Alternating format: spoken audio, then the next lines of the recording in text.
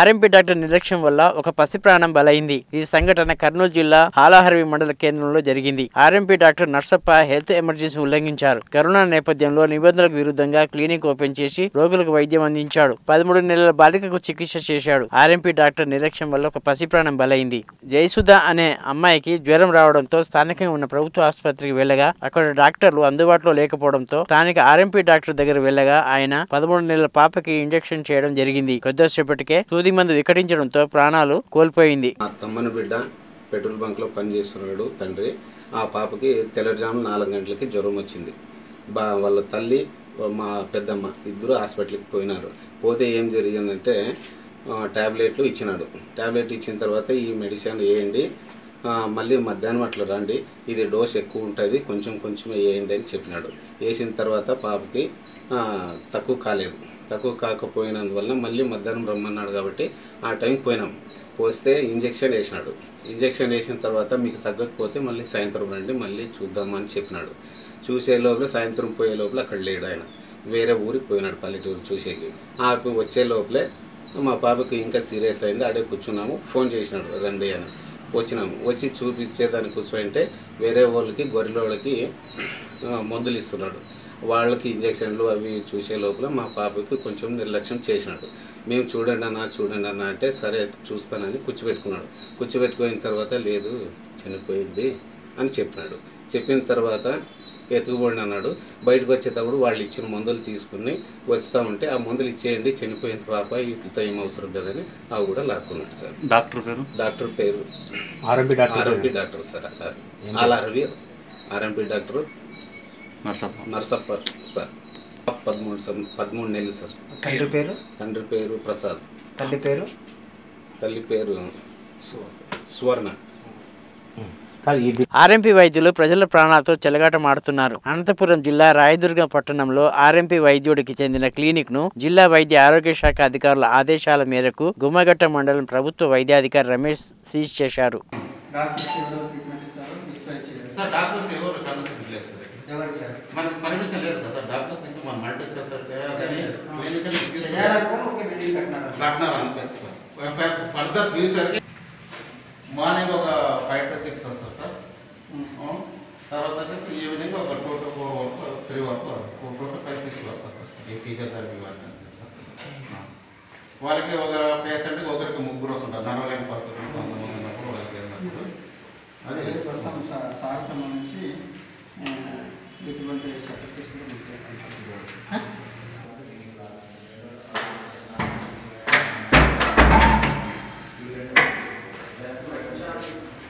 Room room రెండు ఉన్నాయి. Room రెండు ఉన్నాయండి. రూమ్ లేదు సార్ అరే రూమ్ రెండు ఉన్నాయి సార్ చూడండి ఉన్నాయి. ఆ, ఒకటి ఒక చైర్ ఉంది లోపల ఎగ్జామినేషన్ టేబుల్స్ ఎన్ని ఉన్నాయి ఆ ఆ room లో ఓవర్ సార్ ఓవర్ ఎగ్జామినేషన్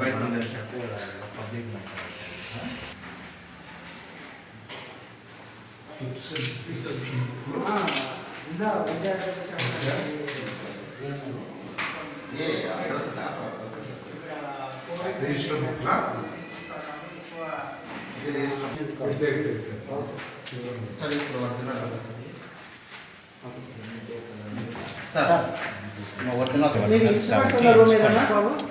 మళ్ళీ ఏమైనా పొరపాటు కష్టం సార్ హిమాలయన్ యూనివర్సిటీ.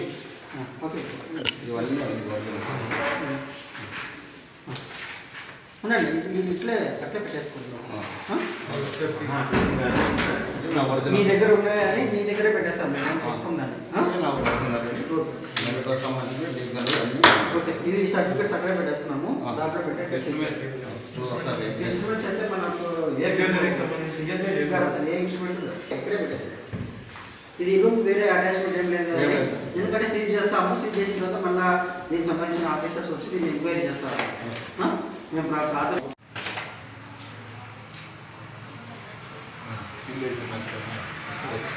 టీసీ దగ్గర ఉంది సార్. అక్కడ ఉండండి.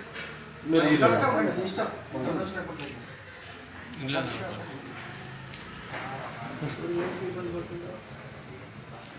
నెల్లూరు జిల్లా దగదర్తి మండలం తిరువీధిపాడు గ్రామం వద్ద కలిగిరి రిజర్వాయర్ గేట్లను నీళ్ళను ఎమ్మెల్యే రామిరెడ్డి ప్రతాప్ రెడ్డి విడుదల చేశారు. ఈ సందర్భంగా ఆయన మాట్లాడుతూ దగదర్తి ఆలూరు బోగోలు మండలాలకు రెండో పంటకు ప్రతి ఎకరానికి పూర్తిగా నీళ్ళు అందించే బాధ్యత తనదని ఆయన అన్నారు.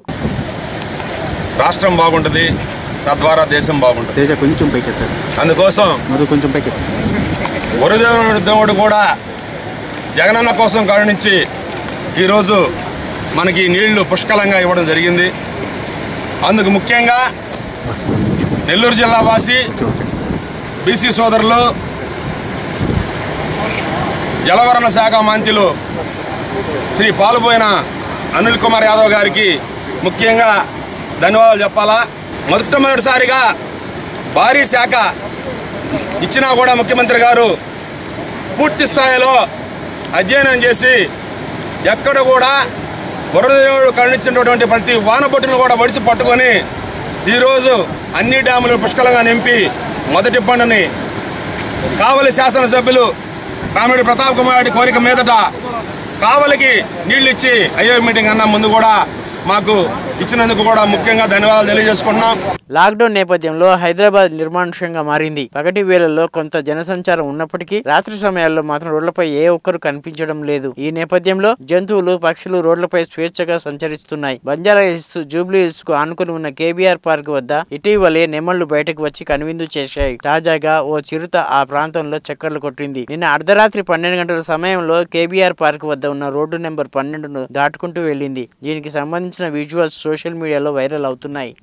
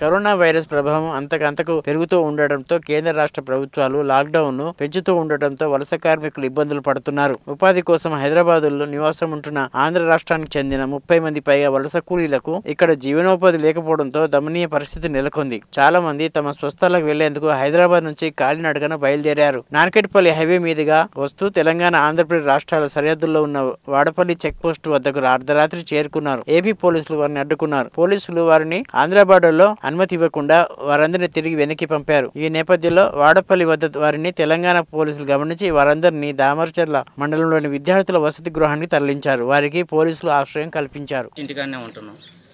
ఇప్పుడు మళ్ళీ పద్నాలుగో తారీఖు ఓపెన్ అయితే ఇంటికి వెళ్దామని వచ్చాము. మళ్ళీ ఇక్కడికి వచ్చిన తర్వాత ఏం బార్డర్లో పోనీయట్లేదు. మేము ఎట్లా చేయాలి సార్? కానీ ఇబ్బంది ఉంది సార్. రూమ్ రెంట్కి అన్నిటికీ. ఏమీ లేదు ఇంకా. అందువల్ల ఇట్లా వచ్చాము సార్. నడుచుకుంటూ వస్తుంటే ఇక్కడేమో సార్ వాళ్ళు అక్కడి నుంచి. మనస్తాల్పురం అయితే ఇప్పుడు మనకాడ గొడవలు ఇంటికల మాకు లాక్డౌన్ అయినా కానీ కిరాయిలు ఈ వచ్చే నెల ఇవ్వమన్నాడు కేసీఆర్ గారు అక్కడ. అయినా ఇస్తామన్నా కానీ వాళ్ళు ఊరుకోవట్లేదు తాళం వేసేది. అందుకని ఇప్పుడు పనులు ఇరవై రోజుల నుంచి ఏదో ఇంకా రోజులు పెట్టి తింటున్నాం. ఇరవై రోజుల నుంచి పూట తింటే పూట ఉండదు. కరీంనగర్ జిల్లా జమ్మికుంట ప్రభుత్వ డిగ్రీ కళాశాలలో ఆటో ట్రాలీ డ్రైవర్లకు నిరుపేదలకు బియ్యంతో పాటు నిత్యావసర సరుకులను వైద్య ఆరోగ్య శాఖ మంత్రి ఈటెల రాజేందర్ పంపిణీ చేశారు. ఈ సందర్భంగా ఈటెల మాట్లాడుతూ కరోనా వైరస్ను నియంత్రించడంలో ప్రజలు పూర్తి సహకారం అందించాలని ఆయన కోరారు. కరోనా ప్రపంచ మానవాళికి కంటి మీద కునుకు లేకుండా చేస్తున్నదని ఆయన తెలిపారు. ధాన్యం కొనుగోలులో ప్రతి గ్రామానికి ఒక కొనుగోలు కేంద్రాన్ని ఏర్పాటు చేసి ప్రతి కొనుగోలు కేంద్రానికి అధికారి నియమించడం జరిగిందని ఆయన తెలిపారు. అందరి సమిష్టి కృషి వల్ల మహబూబ్ నగర్ జిల్లాలో కరోనా వైరస్ వ్యాప్తిని నివారించగలిగామని రాష్ట్ర ఎక్స్చేంజ్ క్రీడలు సాంస్కృతిక పర్యాటక శాఖ మంత్రి డాక్టర్ శ్రీనివాస్ గౌడ్ అన్నారు. ఈ సందర్భంగా ఆయన మాట్లాడుతూ కరోనా వైరస్ నివారణ చర్యలు భాగంగా జిల్లా కలెక్టర్తో పాటు పోలీసు మున్సిపల్ అందరూ కలిసికట్టుగా పనిచేయడం వల్ల కరోనా కేసుల్లో పదకొండు ఉన్నప్పటికీ తర్వాత వ్యాప్తి చెందకుండా నియంత్రణలోకి రాగలిగామని ఆయన అన్నారు. ట్రేస్ అవుట్ చేసి ఇక్కడ నుంచి గాంధీ హాస్పిటల్ పంపించి ఇప్పటి వరకు సురక్షితంగా పేషెంట్లను డిశ్చార్జ్ అయ్యే వరకు జాగ్రత్త వహించడంలో ముందుంది.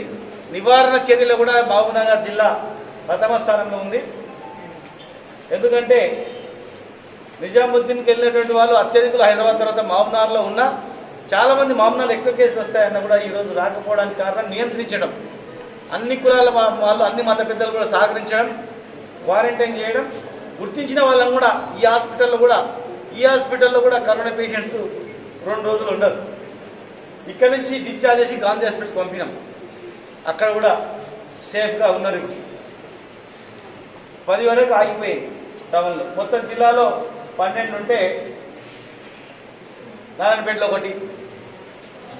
స్ప్రెడ్ కాకుండా ఉండడానికి కారణం కలెక్టర్ గారు పోలీస్ సిబ్బంది ఎస్పీ గారు మిగతా మున్సిపల్ కమిషనర్ గారు ముఖ్యంగా మళ్ళీ మా చైర్మన్ గారు కౌన్సిలర్స్ ఈ హాస్పిటల్ డెవలప్మెంట్ కమిటీ వెంకన్న గారు లక్ష్మి గారు మల్లేష్ గారు వాళ్ళు కూడా డే అండ్ నైట్ ఇక్కడనే ఎంప్లాయీస్ లాగా ఉండడం పూర్తి స్థాయిలో అందరు పనిచేసినందుకే ఈరోజు మహబూబ్నగర్ జిల్లా ఒక స్థాయిలో స్ప్రెడ్ పూర్తి స్థాయిలో స్ప్రెడ్ కాకుండా కంట్రోల్ చేయగలిగినాం మరి ఈరోజు మెడికల్ కాలేజీలో కూడా టెస్టింగ్ కరోనా వైరస్ కారణంగా దేశంలో అన్ని రాష్ట్రాల ముఖ్యమంత్రులు అఖిలపక్షం నేతల సలహాలు సూచనలు తీసుకుంటూ దేశ ప్రధాని కరోనా కట్టడి చేస్తున్నారని తెలంగాణ బీజేపీ రాష్ట్ర అధ్యక్షులు బండి సంజయ్ అన్నారు. తెలంగాణ రాష్ట్రంలో ముఖ్యమంత్రి కేసీఆర్ వెంటనే అఖిలపక్షం ఏర్పాటు చేయాలని ఆయన అన్నారు. రాజన్న సిరిసిల్ల జిల్లాలోని కోనరావుపేట చందుర్తి ముస్తామాబాద్ మండలాల్లో అకాల వర్షం కారణంగా నష్టపోయిన వరి మామిడి పంటలను ధాన్యం కొనుగోలు సెంటర్లను పరిశీలించారు. మంత్రి కేటీఆర్ ప్రాతినిధ్యం వహిస్తున్న శ్రీశైలం జిల్లాలో ఇప్పటి వరకు ధాన్యం కొనుగోలు ప్రారంభం కావకపోవడం శోచనీయమన్నారు కార్యక్రమాన్ని జరిగింది.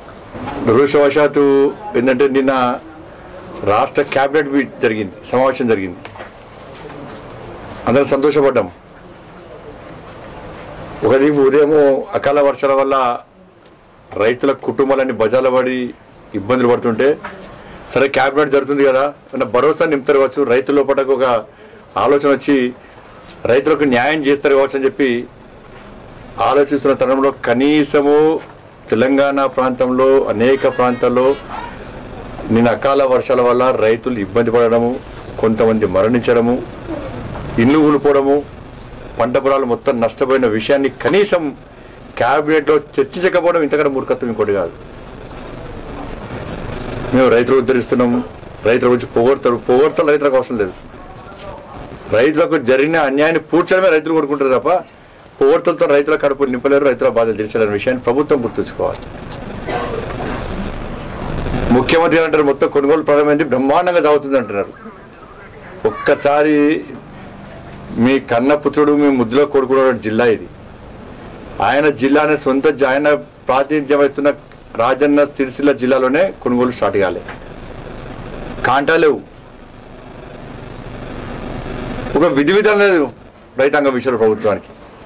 ఒకసారేమో డ్రా సిస్టమ్ అంటున్నారు. ఇంకోసారేమో టోకెన్ సిస్టమ్ అంటున్నారు. ధాన్యం ఐకేపీసన్లో వచ్చి ఉన్నది. లోడింగ్ అన్లోడింగ్ ప్రాబ్లం వస్తున్నది. లేబర్ ప్రాబ్లం అంటున్నారు. బార్జాలు అంటున్నారు కాంటాలు ఏమంటున్నారు తీరా అన్ని వెనక చూస్తే కింటాలకి ఐదు కిలోలు తరుగుదల అంటున్నారు. ఇవన్నీ కూడా కేవలము టైం పాస్ చేయడానికి మాత్రమే. ప్రభుత్వానికి ఒక ఆలోచన లేదు ఒక విధి విధానం లేదు టైం పాస్ పాలిటిక్స్ ప్రభుత్వం చేస్తా ఉన్నది రైతుల విషయంలో. వాళ్ళ ఐకేపీ సెంటర్లలో మూడు రోజులే మబ్బు రావట్టి కనీసము రైతులకు భరోసా వేయడానికి రైతులకు సూచనలు సలహా ఇవ్వడం కూడా ఇలా ప్రభుత్వం ముందుకు వస్తలేదంటే ఇంతకంటే సిగ్గుచేటి ఇంకోటి కాదు. పిడుగుపాటుతో మృతి చెందిన రైతులు. ఇల్లు కూలిపోయినాయి. మామిడి తోట మొత్తం పోయింది. వరి ధాన్యం మొత్తం పోయింది. ఎకరాలకు ఎకరాలు ఇలా పంట పొలం నష్టపోతే ఇవాళ రైతులు ఏడుస్తూ ఉన్నారు. కేవలం నిన్న లాక్డౌన్ మూడో తారీఖు నుంచి ఏడో తారీఖు పెంచడంతో రైతుల దృష్టి మళ్ళించాలని ప్రయత్నం చేశారు. లాక్డౌన్ పెంచడం దాన్ని వ్యతిరేకిస్తలే మేము. కానీ ప్రజల దృష్టి మళ్ళించే ప్రయత్నం ప్రభుత్వం చేస్తా ఉన్నది మళ్ళీ ఐదు కిలోల రెండు కిలోల ప్రభుత్వం భరించాలి దాన్ని. రైస్ మిల్లర్లకు నష్టం జరుగుతుందని ప్రభుత్వం భరించాల్సిందే. రైతులకు నష్టం జరిగితే ప్రభుత్వం ఆలోచించాల్సిందే భరించాల్సిందే. రైతులు ఎవ్వరు కూడా లాభం కోసం వ్యవసాయం చేస్తలేరు. గతంలో వడగళ్ళ వాన వల్ల దెబ్బతిన్నారు. దెబ్బతింటే నష్టపరిహారం ఇస్తా ఉన్నారు అంచనా తయారు చేస్తున్నారు అంచనాలు మొత్తం నష్టపరిహారం అంచనా చేస్తూనే ఉన్నారు కమిటీలు అన్నారు. కాలయాపన చేసారు రైతులు ఎదురు చూసారు ఏ నష్టం వస్తుంది అయ్యా నష్టపరిహారం ప్రభుత్వం తీరుస్తుంది అని చెప్పి ఎదురు చూసారు ఇయలే మళ్ళీ పంట వేసుకున్నారు. మళ్ళీ నష్టం జరిగింది. మళ్ళీ ప్రభుత్వం వస్తుంది. మళ్ళా నష్టం అంచనా వేస్తున్నామంటారు. మళ్ళీ ఆరు నెలలు ఆరు సంవత్సరాలు టైం పాస్ చేస్తుంది. ఓ రైతులు లాభాల కోసం చూస్తలేరు. గతంలో నష్టపోయింది పంట. కనీసం నష్టాన్ని పూరించుకుందాం. లాభం లేకుండా కనీసం కుటుంబం గడతజాలనే పరిస్థితిలో ఇలా వ్యవసాయ రంగం అంతా ఉంటే ఇలా డబ్బులు అకౌంట్లో పడే కూడా గ్యారెంటీ లేదు.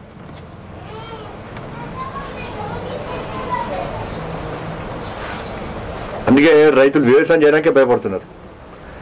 ఈ సమయంలో రైతులకు భరోసా నింపాల్సిన ప్రభుత్వం కూడా ఇలా రైతాంగం పట్ల ఇలా నిర్లక్ష్యం వహించడం నిజంగా ఇలా మొత్తం సభ్య సమాజం తలదించుకుంటా ఉన్నది ఏడుస్తూ ఉన్నారు కష్టపడి పండించిన పంట చేతికి వచ్చే టైంకే మొత్తం నీళ్ళపలేదు చేతికి వచ్చాక ఐకేపీ సెంటర్కి వస్తే ఆడ ప్రభుత్వం కొనుగోలు లేక ఆడ నష్టపోయారు.